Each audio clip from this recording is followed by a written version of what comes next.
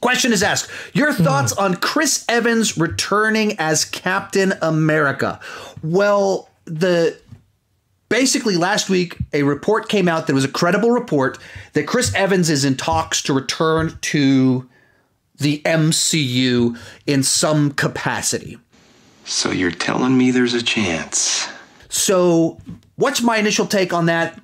If they are negotiating with him to have Chris Evans be in Doctor Strange 2 and some alternate reality, there's some fun potential there. If he shows up as Human Torch, that's brilliant. That's a ton of fun.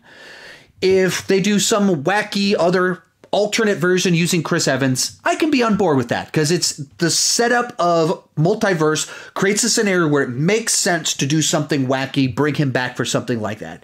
If they're bringing him back to have old man Steve sit down with Bucky and have a chat with him and mentor him for a nice, fun little scene. The way Peggy showed up in, you know, it was a Winter Soldier for just a little bit. That's cool. That's fun. That that's a little nice little touch.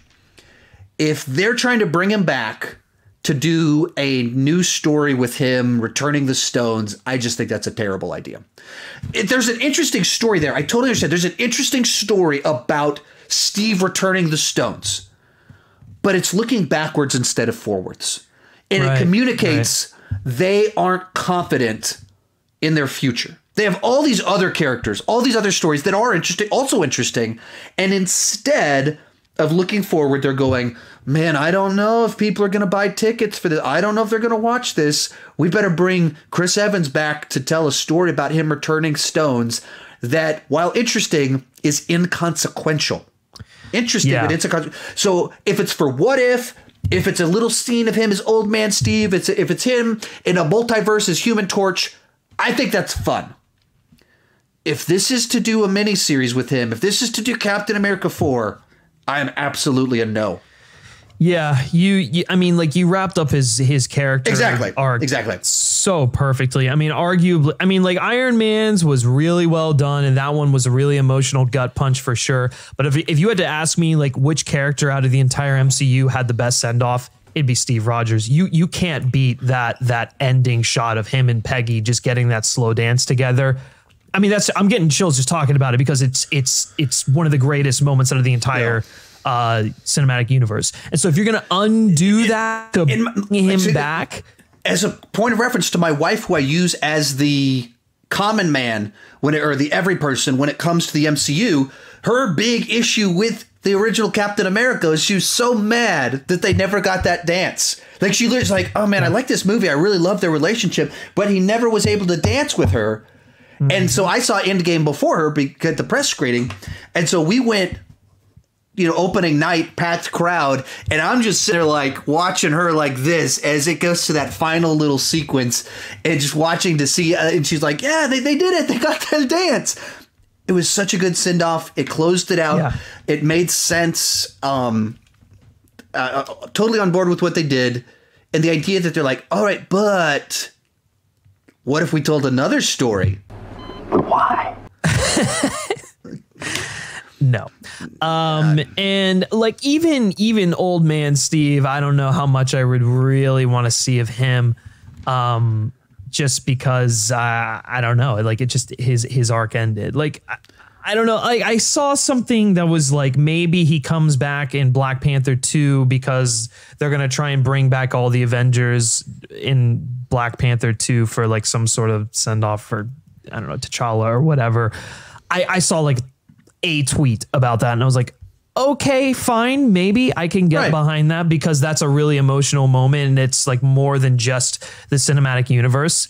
But um I don't know, man. Like, I don't want to see like the, the, him returning the stones. I don't, I don't, even think that's like something that's even within the realm of possibility. Like that, that just seems like such a shallow idea uh, for the MCU going forward, and and ultimately, who cares?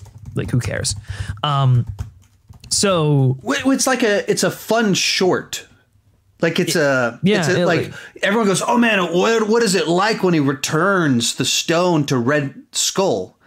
That feels like a mystery that the intrigue of the the the mystery is a lot more interesting than the actual scene itself Because Yeah. what are they get- what are they going to do? Like Red Skull have a philosophical debate about what Red Skull has learned now that he's become an immortal in a celestial realm. Not a great plan. Like what what are they what what are they actually going to talk about that feels like a satisfying conversation for Steve Rogers? Yeah. Like do they think he's going to like start throwing the shield at him or like no. So the the the intrigue of like oh he's going to have to return it to Red Skull that's a fun observation. yeah. I don't know that the scene itself would actually be fun. No, it, it- I don't even. I don't. Yeah, I don't think that would be interesting at all. I mean, like him returning the stones, whatever. He's Captain America. He can sleuth around and he'll put them back, and everything will be fine. Like it doesn't matter. There are some things that you don't need to see on screen. You can just leave it up to your imagination. And I think with with Steve, it just like what what more is there to do with this character? If you're gonna bring him back, there has to be. And I can't tell you uh, like a single reason why he should come back.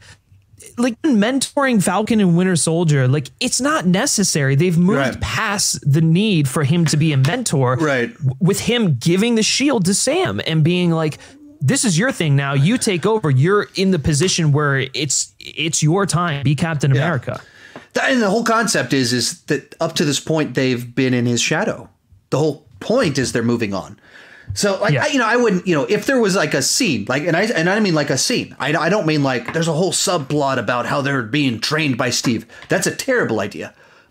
He's in the universe still so the concept that there could be a conversation fair enough maybe i'm open to it. Uh, i don't hate that. I, i'm not for it either. I'm not promoting it. The human torch one is the one that i think is the one that's like that would be a lot of fun Like they- like like the multiverse or like Multi- in Deadpool multiverse. three or yeah yeah they- they're doing a multiverse and so then he's playing human torch that he played 15 years ago that's fun that is fun yeah uh, and it's it's there's a there's a it's not super clever, but it's a little clever, and it's a nice little touch for the fans.